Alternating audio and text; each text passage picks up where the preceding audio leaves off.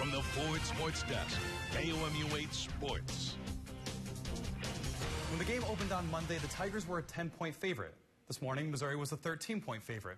Well, sorry, Vegas. Much like my prediction before the game, you were very, very wrong. Senior night at Missouri, and that senior right there, Ish Witter, wouldn't just run onto the field, he would be running all over it. Second Mizzou drive, better yet, just call it the Ish Witter drive. 22-yard carry for Witter into Tennessee territory, and then one play later, Witter gets the ball again, 14 more yards for him. Ish Witter literally carrying the Tigers down the field, and then he carries them into the end zone with this seven-yard touchdown run. Witter accounts for 70 of Mizzou's 82 yards on the drive. But if you thought Mizzou was running away with this one, not so fast. Drew Lock here drops back and gets picked off by Nigel Warrior. He goes running in the other direction, makes a cutback, and that's going to go 70 yards for the pick six. Tennessee and Missouri now tied at seven apiece. Lock on the bench. He's upset with himself, but he says, I'm going to get those points back. And here he is. Off the play fake, he finds his buddy Emmanuel Hall for the 31-yard scoring strike. What did two of those two have been lately? Tigers back in front by seven. Inside one minute before the end of the half, the Missouri running game sets up another score. This time it's Larry Rountree who says, hey guys, don't forget about me. He goes running around the line and goes rumbling 64 yards down the field to the Tennessee eight-yard line. Then Missouri gives Rountree a chance to cap off the drive from two yards out. Here he is, and he punches that one in. That gets the Tigers back up by 7, 24 to 17. Second half, Lock finds his go-to deep ball target again. This one to Emmanuel Hall for the 50-yard touchdown. Lock's 11th TD pass of 50 yards or more that leads all of college football. Late in the third quarter, Lock through the air again. Here he finds J'Mon Moore, who breaks the tackle and finds the end zone on his senior night. Mizzou just pouring it on now 38 to 17.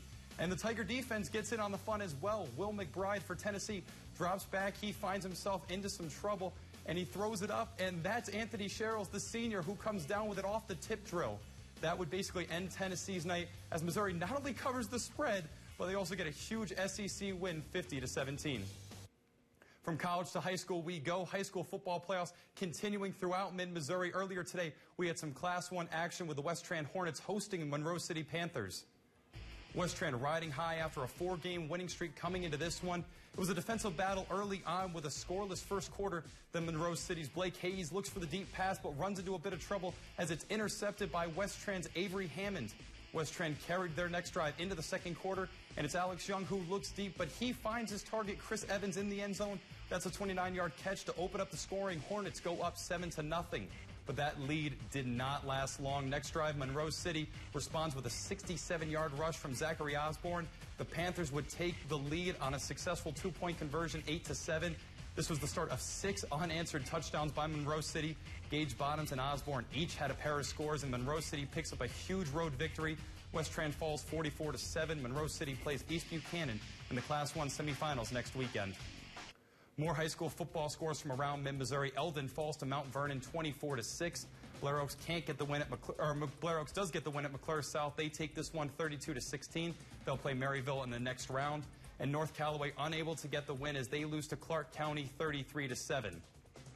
Final day of the Hawkeye Challenge for the Missouri women's basketball team. Today they were faced up against the Quinnipiac Bobcats and Missouri gets their first win of the season. They defeat Quinnipiac by double digits, 66 to 51. Jordan Frericks getting off to a really strong start following last year's season-ending injury. Yesterday she scored 24. Today she follows that up by leading all scores with 23. The Tigers will ride that win back to Columbia. They face off against Wright State this upcoming Thursday. Back to the news desk.